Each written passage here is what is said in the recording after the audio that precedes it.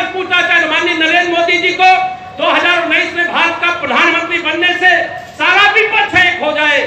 और अगर जनता मोदी जी के साथ खड़ी है तो नेता एक हो जाए, मोदी जी का कुछ नहीं बिगाड़ सकते।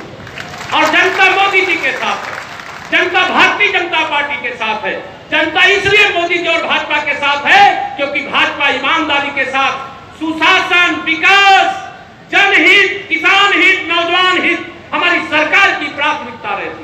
सीमाओं की रक्षा भी करेंगे। दुश्मन अगर आँख दिखाएगा तो उसकी आँख निकालने के लिए हमारे भारत के वीर जवान उसके सीमा के अंदर घुस करके सर्जिकल स्ट्राइक भी करेंगे। कांग्रेस के अध्यक्ष श्री राहुल गांधी। रोज मैं तो कहता हूँ श्री राहुल गांधी जी और कांग्रेस झूठ बोलने की मशीन कुछ दिन पहले श्री राहुल गांधी जी ने कहा था, हम एक ऐसी मशीन लाएँगे कि एक तरफ़ से आलू डालो और दूसरी तरफ़ से सोना निकलेगा। इस समय उन्होंने कहा कि हम एक ऐसी ऑटोमेटिक मशीन लेकर के आए हैं कि एक तरफ़ से राफेल डालेंगे दूसरी तरफ़ से प्रधानमंत्री कुर्सी निकल आएगी। लेकिन उसके अंदर से उनके जीजाजी निकल आए। यह परिवर्तन? पर बताइए राम मंदिर पर देखिए श्री राम जन्मभूमि मंदिर मामले में 29 अक्टूबर से सर्वोच्च न्यायालय में प्रतिदिन सुनवाई शुरू होने जा रही है।